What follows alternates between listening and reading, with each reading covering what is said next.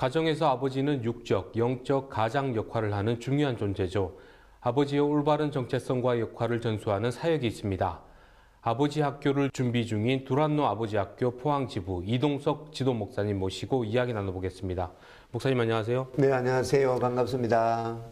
두란노 아버지 학교가 왜 필요한지 한 말씀 해주십시오. 이름처럼 아버지 학교잖아요. 아버지들이 모여 사는 것인데 네.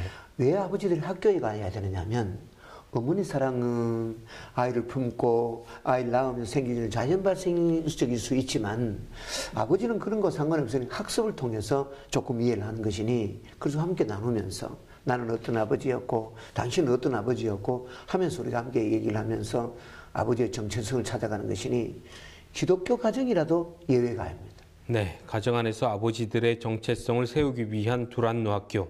이제는 많이 알려졌는데요. 네. 4월 1일부터 5주간 포항에서 두란노 53기 아버지 학교를 마련했다고요. 네 네 네. 일정과 내용도 궁금합니다. 포항 오천교에서 4월 1일 토요일부터 토요일 다섯 번 모임을 갖습니다.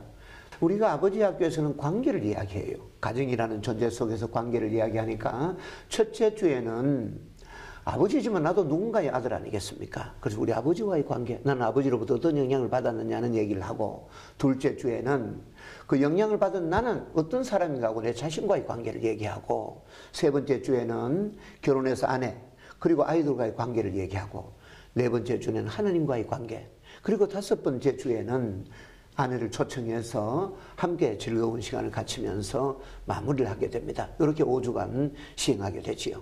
네, 포항에서 두란노 아버지를 통해 많은 분들이 거쳐갔다고 말씀해 주셨는데요. 네네. 좋은 열매도 많이 맺혔겠네요. 아, 그럼요. 제가 열매예요. 제가 예수님을 믿고 늦은 나이에 목사가 돼서 교회를 세워가면서 가족들은 많은 충돌이 있었습니다. 왜 힘들고 하니까. 그런데 내가 이 아버지 학교를 경험하고 아버지 학교를 내가 섬기면서 아하, 이래서는 안 되겠구나라는 그런 생각들을 가지면서 가족들의 좋은 관계를 이루었으니 지금 우리 이렇게 행복하게 잘 살고 있습니다. 네, 그동안 많은 은혜가 있었던 만큼 53기도 기대가 큽니다. 네. 아버지 학교 사역을 통한 바람과 기도 제목 있다면 나눠주세요. 음, 우리가 한 3년 동안 이게 정체되어 있었습니다. 코로나라는 괴물질 때문에. 그래서 이제 코로나도 좀 멈추고 세 번에 시작하니까. 그 사실 아버지 학교가 특별한 구심점 있는 공동체가 아니에요. 모일 때 하지만 마치고 나면 각자의 자리로 돌아가는데 그러다 보니 스탭들이 많이 자신의 자리들로 돌아갔습니다. 그래서 이 방송을 듣는 허시하고 경험하신 분들 있으면 함께 해주시면 좋겠고 또 어, 장은 열어놓았지만 사람들이 없으면 사실은 곤란하잖아요.